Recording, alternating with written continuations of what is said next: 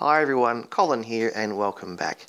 You will find sometimes that things don't always go to plan in your aquarium and you bought the fish that you like, they're healthy, they're happy, you bought the plants that you like, they're supposed to grow well, that's good, but then something happens and in this case my clown loaches, who I really really enjoy, have decided to eat every single one of my crypt plants.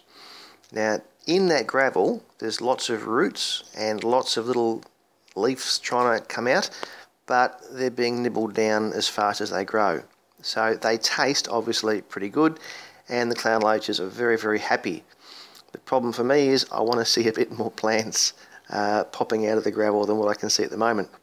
So what can you do? Well, one of the things you can do is give the fish more veggie food when you feed them. So what I've done is where I keep my dry foods, I've got some algae spirulina uh, sinking tablets, which the clown loaches will get uh, regularly. And as well as that, there's other veggie foods, like they're going to get some peas, uh, they're going to get some um, cucumber, zucchini, and I'll show you how we prepare the zucchini um, for feeding. And what we do is we just cut it into uh, pieces, and once we've cut it into pieces, that'll then go into the microwave. We'll heat it for a minute, that just makes it softer and it's cooked through and then once we've cooked it in the microwave it'll then go into a freezer plastic bag and live in the freezer.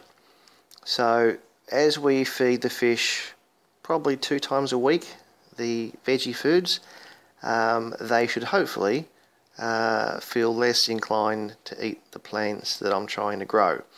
So this is the sort of thing that you'll find will happen from time to time and there's usually always an answer to your problem and this is one of the things that happens.